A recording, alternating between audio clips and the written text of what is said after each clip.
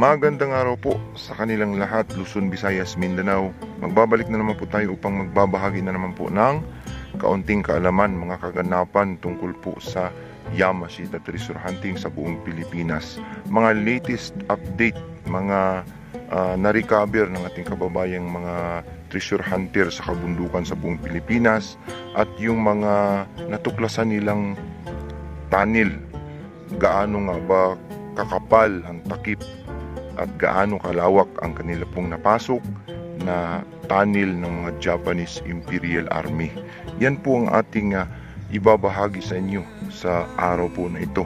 Pero bago yan tayo po muna ay magpapasalamat sa lahat po ng mga nag-subscribe sa aking channel at kung bago ka pa lang po sa aking channel huwag niyo pong kalimutan i-hit ang uh, subscribe button sa ibaba at ang notification bell para updated po kayo sa mga susunod kong i-upload.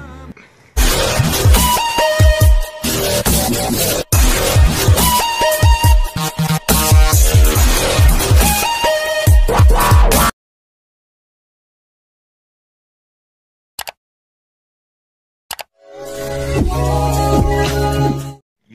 Treasure Hunter sa buong Pilipinas, nandito na naman po tayo sa ating bisyo na paghahanap ng mga itinagong kayamanan ng mga Japanese Imperial Army. At uh, ang ating nga pong napiling topic na pag-uusapan ngayon ay tungkol po dito sa mga kababayan natin na nakarecover. Latest na mga nakakuha po ng mga kayamanan sa kabundukan po ng Pilipinas. Ano-ano nga ba ang kanilang mga nahukay? At ano yung mga na-discover nilang uh, uh, sikretong tunnel na kanila pong nabuksan gaano ka kapal yung kanyang takip at gaano kalalim ay napakahalaga po ito sa atin mga treasure hunter bilang naghahanap ng mga kayamanan po sa kabundukan sapagkat tayo po ay magkaroon ng idea na ganun pala ang uh, uh, sistema ng iba po sa mga pinagtataguan ng mga Japanese Imperial Army. Uh, pero bago yan, uh, bago tayo pumunta po sa aking pinaka-topic, ay uh, uh, pag-usapan muna natin itong mga kababayan natin na nahingi po ng tulong minsan dito po sa ating channel. So sa mga humihingi po ng tulong ng mga kababayan natin ay uh, tayo ay humihingi din sa inyo ng suri sapagkat uh, hindi tayo makabigay sa inyo ng uh, uh, halaga o mga pera na uh, ating ipamahagi sa inyo sapagkat hindi po sa atin mismo ang mga kayamanan na yan. Ito po ay mga video na ipinadala sa atin ng mga kababayan nating treasure hunter na nakakuha at isinyer lamang sa atin, sa inyo, para malaman ninyo, malaman natin na tunay ang Yamashita Treasure. So, yun pong mga video na yan na ipinapadala sa atin ay hindi natin kilala yung iba. At uh, wala silang uh, pangalan minsan na ibinibigay at kusa na lamang dumarating sa atin ang video na namamangha tayo sapagkat may mga nakukuha silang Yamashita Treasure. So maging ako ay na-excite o uh, namangha din sa mga ipinapadala sa ating mga video na iba't ibang uri ng Yamashita treasure ang ating nasasaksihan. So, hindi po talaga sa atin itong mga nakukuhang mga items na ito. So, yung pong mga items na nakuha ko noon ay uh, naipamahagi na natin. Matagal nang uh, wala sa atin at mas pinili kong uh, simpleng buhay lamang at uh, hindi naman uh, uh, mahirap, hindi rin sobrang mayaman. Ito ay katamtaman lamang na makakain tayo tatlong bisis isang araw. So, ang purpose po natin dito sa atin pong uh, uh, pagbabahagi sa inyo ng kaalaman tungkol po sa Yamashita Treasure ay para makatulong lamang tayo magkaroon ng idea ang ating mga kababayan na madiskubre ang mga itinago ng mga Hapon sa kabundukan po ng Pilipinas. Sapagkat sayang naman po na hindi mapakinabangan ito sa atin pong mga kababayang naghihirap.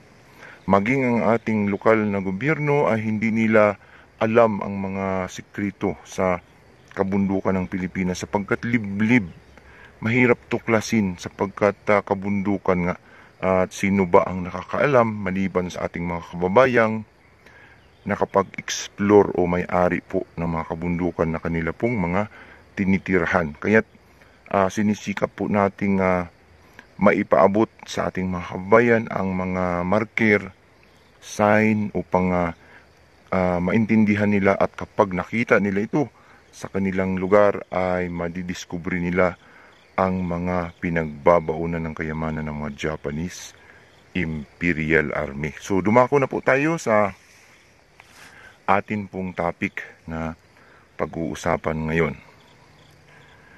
So ang ating topic na pag-uusapan ngayon ay tungkol nga po dito sa mga na-recover no latest. Ano-ano nga ba yung mga nadiskubre ng ating kababayan?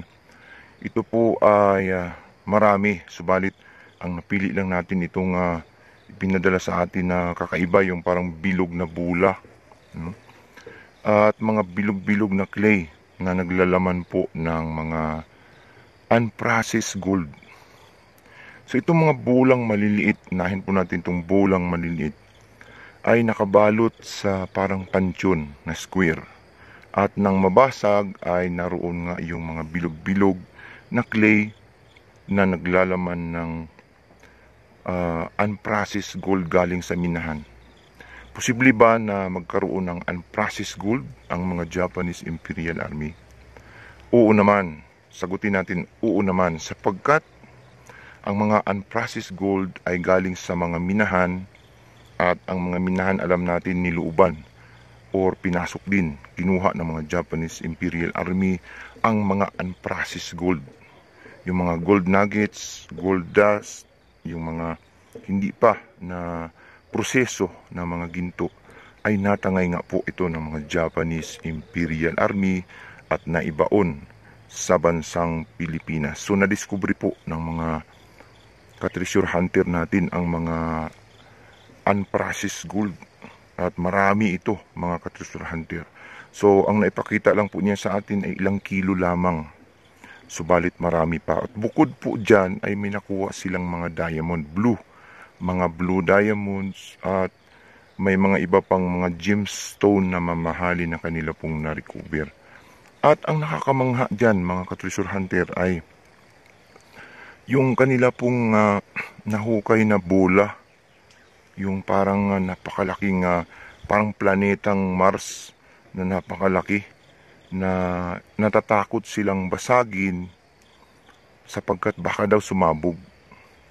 So kapag mga ganitong klase na bola na konkrito ay masasabi nating object yan sa loob sapagkat hindi naman siya bakal kapag kabumba posibleng sasabog sa loob kapag uh, bakal ito sapagkat maaari itong bomba. Pero ito ay isang uri ng konkrito na maaring container o pinaglalagyan ng object bagay, ginto or anong pa mga klaseng uh, Yamashita treasure ang naitago dito sa parang bola no. So, yung parang bola na ito posibleng naglalaman ito sa gitna ng object kayamanan ng mga Japanese Imperial Army. Yan lang po ay aking opinion. Subalit, uh, pwede po kayong mag-comments kung ano po ang laman ng bulang ito na kanila pong na-discover.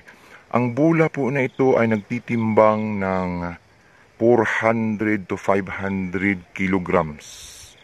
So, hindi naman siya ganun ka bigat kasi kapag solid gold yan sa loob, ay aabot yan ng uh, ah, 1 tons o isang tunilada no, o 1,000 kilogram siguro o mahigit kapag yan po ay uh, ginto sa loob solid.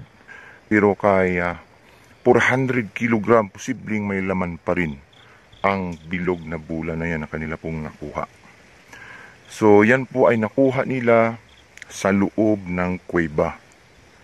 Nakapasok sila daw ng bunker yung bunker yung mga pinagtataguan ng mga Japanese Imperial Army. Hindi yung bunker na bankero kundi yung bunker na ah, doon ah, nagkukubli, doon po nagtatago ang mga Japanese Imperial Army at maaaring napaglagyan din nila ito ng mga kayamanan at natagpuan nga po ito ng ating kababayang treasure hunter sa Mindanao. Ito po sa Davao de Uro, sa Davao City po ito. Sa probinsya, sa kabundukan po ng Davao ito nakuha. No? Marami pa silang nakuha, hindi lang yan. at hindi lang niya uh, sinishare sa atin ay uh, at posibleng natatakot ang ating katreasure hunter na masilayan ito. Mahirap kasi medyo mainit ang mga ganitong klase po na Yamashita treasure. So, yan po ang mga uh, latest na nakuha, no? Mga unprocessed gold at saka diamond. Pangalawa ay ito pong uh, napasok na tunnel. So, itong tunnel na ito ay may mga marker bago pa ito nila matuklasan ay uh, sa tuktok po ito ng uh, bundok ha, tinataniman yung gilid, may mga tanim na mga uh, halaman, prutas, at may mga sign na animal character nung hinukay nila, hindi nila inexpect na malalaglag po sila sa ilalim. Uh, sila po ay nabigla So ang takip po ay uh, napakatigas. May halong shell yung kwan konkrito. Halatang simento talaga yung kanila pong uh, na-encounter. May halo pong mga galing dagat ng mga seashells. Mga seashells na mga alam mo yung uh, uh, nasa dagat na mga kinakain na shell ay nahalo po sa simento uh, umabot po ang takip ng 12 meters o halos uh, mahigit kumulang yan ng mga 39 feet o 40 feet. Ganun kalalim, ganun kakapal ang takip po bago nila marating ang kwarto ng tunnel sa ilalim, kwarto. So, nakakamangha po ang tunnel sapagkat ang tunnel po na ito ay may third floor. First floor, second floor, third floor, tapos may upuan pa ng general, ni General Tomoyoki Yamashita. So napaka tindi po ang kanila pong napasok no. Uh, sabi po ng ating ka-treasure hunter, wala daw silang nakita sa loob. Pero hindi po ako naniniwala na wala silang makita sa loob sapagkat uh, ang 12 meters na kapal ng konkritong sobrang tigas na takip na nakasarado po ito ay imposibleng wala itong itinago. Magtakip ka ng sobrang tigas ng 12 meters na wala ka man lang iniwan doon ay imposible yun. Posible lang na hindi nila sinabi sa atin, hindi nila sinir sa atin sapagkat kayamanan ito mainit sa mata. Maaring hindi nila ito sinabi ang laman, hindi nila pinakita. Ang pinakita lang nila ay yung tani lang na kanila pong napasok. Subalit, may laman talaga ito. So, privacy po, safety for safety po ng ating kabayan na nakakuha. So, uh, maswerte na lang tayo at na-share nila sa atin ang video na ito na nakapasok sila sa loob ng tunnel. Pwede kang magmotor sa loob ng tunnel at napakaganda po ang uh, uh, Yamashita Treasure Tunnel. Imagine mo na 500 meters ang lawak ganun ka kahaba ang uh, Yamashita Treasure Tunnel. Sa ilalim po yan ng bundok. May upuan pa, may triangle pa na dots at may uh, marker pa sa loob ng uh, kuweba na posibleng may ibinaon pa doon sa loob na kayamanan doon malapit sa upuan ni General Tomoyoki Yamashita. Ito po ay sa Visayas. Hindi po natin babanggitin yung lugar sapagkat for the safety sa atin pong kabayan, treasure hunter na nakakuha or nakadiskubre. So yan po ang mga bagong uh, nangyayari o kaganapan po sa Yamashita treasure hunting.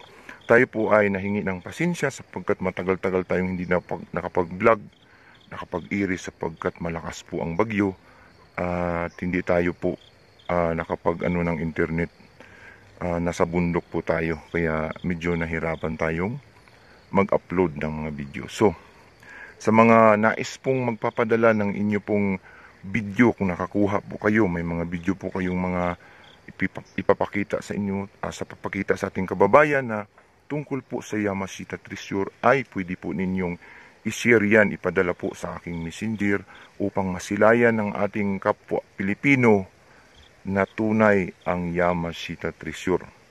Sa gusto pong magpadala ng mga ah, ipapadecode o ipapabasa ay ipadala lamang po ito sa ating messenger at sisikapin natin ah, bibigyan ito ng pinakamalapit nitong kahulugan ayon po sa Japanese code.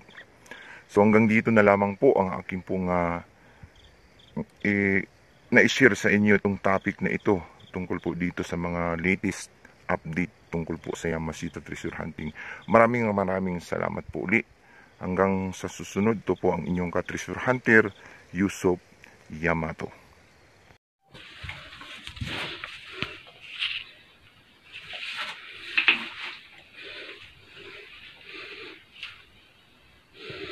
Pedagkan bang.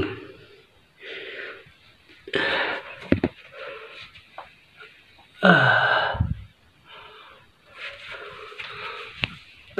bawa po ang gawas. Hul mga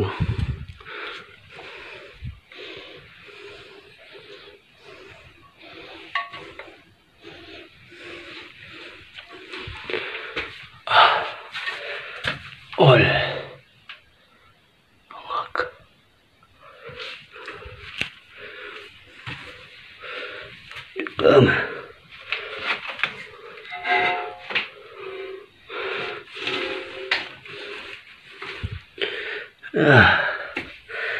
Buak. Broken. Buak kuling. Ah. Ah. Nalay bomba. Ubons.